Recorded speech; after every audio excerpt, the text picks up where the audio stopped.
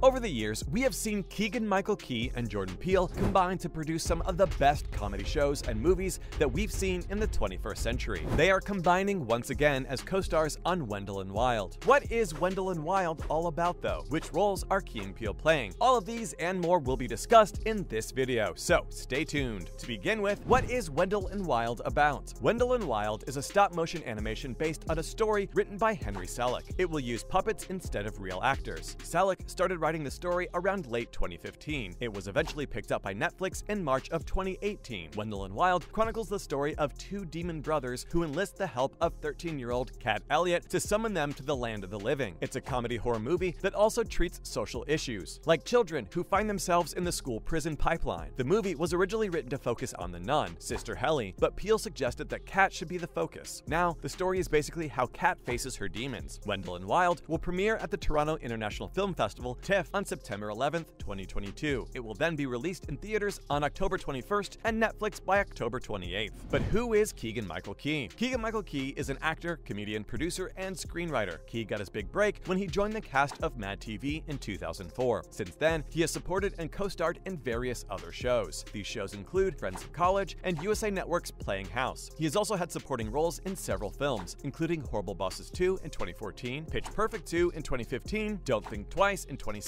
and Dolomite is My Name in 2019. He has provided voice work for the Lego Movie 2014 and the subsequent films of the Hotel Transylvania franchise 2015 through 2022 as the voice of Murray, Storks and the Angry Birds movie both 2016, and The Star 2017. He also voiced Kamari in the Lion King remake, Ducky in Toy Story 4 both 2019, and Honest John in the Pinocchio remake 2022. In 2015, he appeared at the White House Correspondents' Dinner as the Key and Peele character Luther, President Barack Obama's anger translator. In 2017, Key made his Broadway debut in Steve Martin's comic play Meteor Shower. Key has also appeared in the musical film The Prom 2022, directed by Ryan Murphy on Netflix, and the musical comedy series Schmigadoon 2021 on Apple TV+.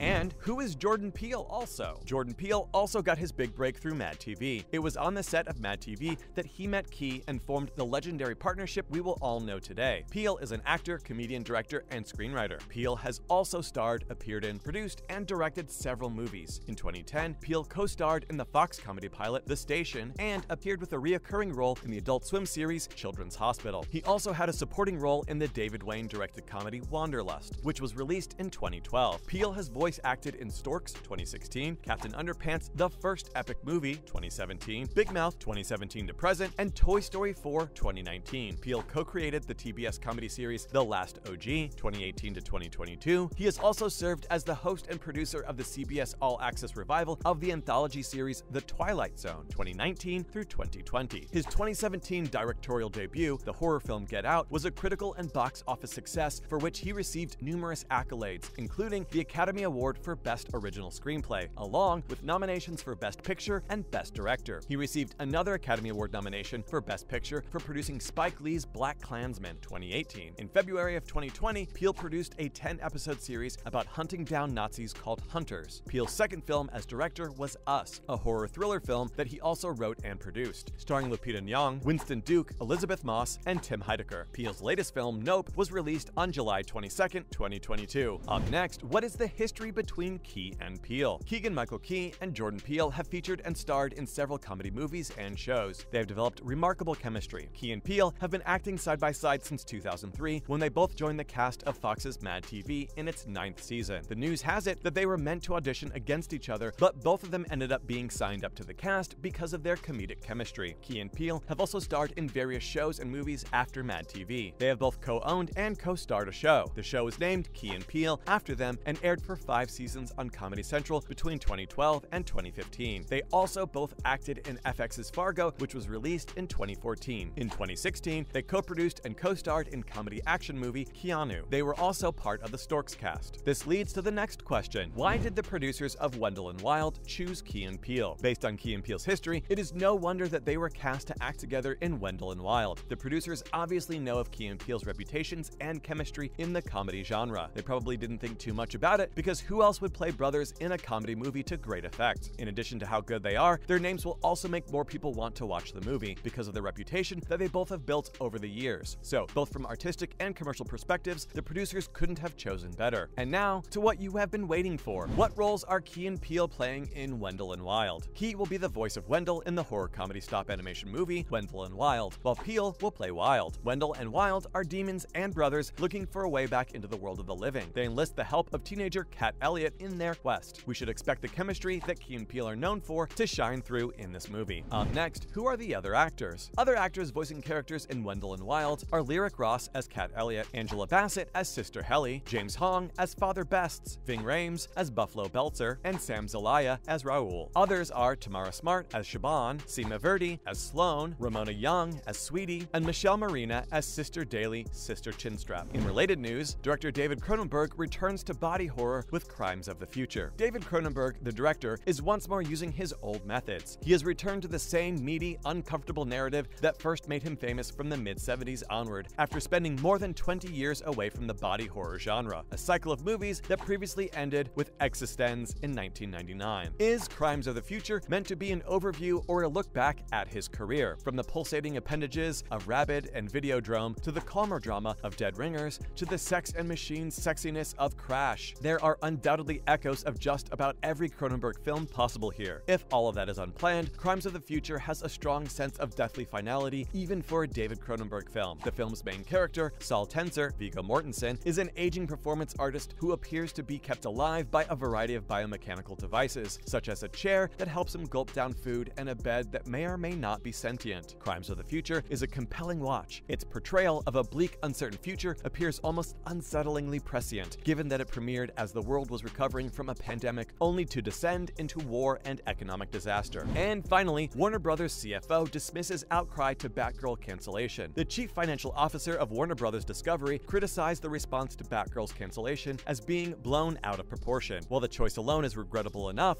Warner Brothers hasn't exactly made a name for itself in the weeks since. Warner Brothers doesn't seem to have a handle on the extent of public sentiment against its decision making, as seen by the company's admission that the movie was shelved to obtain a tax break or its puzzling silence over the problematic actions of their incumbent Flash, Ezra Miller. You can now write off the studio's CFO, Gunnar Wiedenfels' public criticism of the press coverage of Batgirl's cancellation as being blown out of proportion as another PR blunder. Speaking last week at the Bank of America Media, Communications and Entertainment Conference, Wiedenfels made the somewhat tone-deaf remark. He denied that the company's reputation had been damaged and dismissed the internet uproar as nothing more than media likes to talk about media, I guess. If internal discussions at Warner Brothers Discovery are proceeding in that manner, the current management clearly lacks the understanding of how decisions that they make affect fans, audiences, and industry experts. The search for a new director for the DCEU films is still ongoing, but Warner Brothers needs to find someone soon since the way it is handling the matter is progressively alienating its core supporters, those who pay to watch its movies and those who make them. You have now gotten to the end of this video. Do you expect another stellar performance from Key and Peele? Also, what are your thoughts about the comments of Warner Brothers CFO? Leave your answers in the comment section.